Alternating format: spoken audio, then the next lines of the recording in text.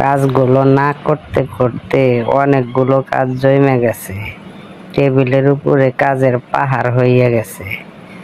কিন্তু অলসতা এমনভাবে আঁকড়ায় ধরছে আমারে যে কাজগুলো করতে ইচ্ছা করে না।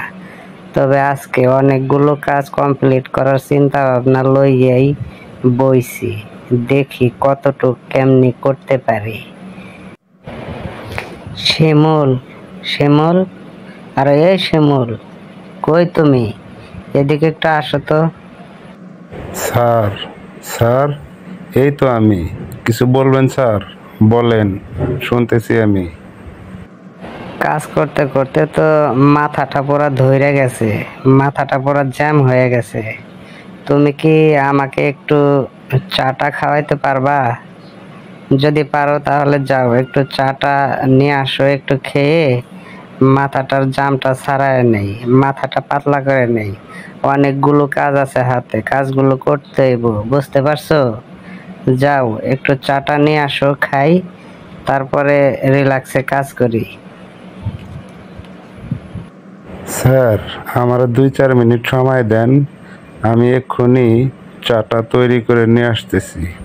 আপনি টেনশন করবেন না, আমি অতি দ্রুত চাটা বানায় নিয়ে আসতেছি। ঠিক আছে, স্যার? আচ্ছা ঠিক আছে, যাও। আর শোনো, চাটায় একটু লিকারটা বেশি করে দিও, যাতে খেলে মাথাটা পুরো হালকা হয়ে যায়, যাতে মাথাটা ক্লিয়ার হয়ে যায়, যাতে কাজগুলো সহজে সুন্দরভাবে করতে পারি। বুঝতে পারছ? আচ্ছা তুমি এবার যাও, চাটা রেডি করে নিয়ে আসো। আমি তোমার জন্য অপেক্ষা করতেছি। আচ্ছা স্যার, আপনি যেভাবে বলছেন, ঠিক ওইভাবেই আমি লিকারটা একটু বেশি করে দিয়েই তৈরি করে নিয়ে আসব। ওকে স্যার, আমি যাচ্ছি, চাটা তৈরি করে নিয়ে আসছি। আপনি টেনশন করবেন না, আমি অতি দ্রুতই চাটাকে তৈরি করে নিয়ে আসব। শিমুল, শোনো, চাটার ভিতরে চিনিটাকেও একটু কম করে দিও।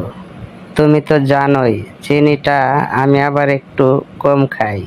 মিষ্টিটা আমি একটু কম পছন্দ করি, ঠিক আছে? আচ্ছা স্যার, আমি চিনিটা একটু কম দিয়েই তৈরি করব। আপনি ঠিক যেমন বলছেন, অমন করেই তৈরি করব। আপনি কোনো টেনশন করবেন না। শিমুল, ছেলেটা একদম কাজের একটা ছেলে।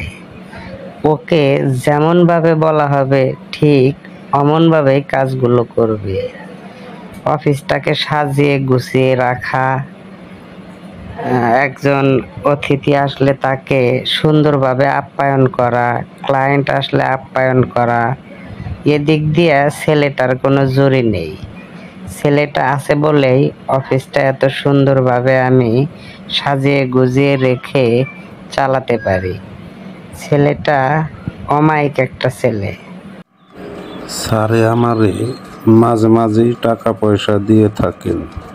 ওই টাকাটা দিয়ে থাকেন স্যারে আমার বেতনের বাহিরে, যাতে আমি সুন্দর মতো সংসারটারে চালাইতে পারি। স্যারে আমারে প্রচণ্ড ভালোবাসে। তাই আমি স্যারের কথাগুলো অক্ষরে অক্ষরে সর্বসময় পালন করার চেষ্টা করি।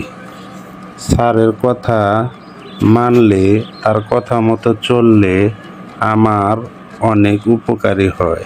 এই জন্যেই তো আমি স্যারের সমস্ত কথাগুলো অক্ষরে অক্ষরে পালন করার চেষ্টা করি। এই সেদিনকার কথা, ছেলেটা অসুস্থ হলো। আমি টাকা পয়সার জন্য পুরা হিমশিম খাইয়া গেছিলাম। স্যারে, নিজে গিয়া আমার ছেলেটাকে হসপিটালে ভর্তি কইরা সমস্ত খরচ দিয়ে আমার ছেলেটাকে সুস্থ করে তুলছে। এই জন্য স্যারকে আমি অনেক ভালোবাসি। স্যার যেন সামনে আরও অনেক বড় হয়। অনেক বড় হইয়া ব্যবসা বাণিজ্য যেন অনেক প্রসার করতে পারে। শাওন স্যারের এই ঋণ কোনো দিন ভোলার নয়। এই জন্য যতদিন বেঁচে আছি, আমি শাওন স্যারের কাজ করে যেন যেতে পারি। আল্লাহ যেন সেই তৌফিক আমাকে দেয়।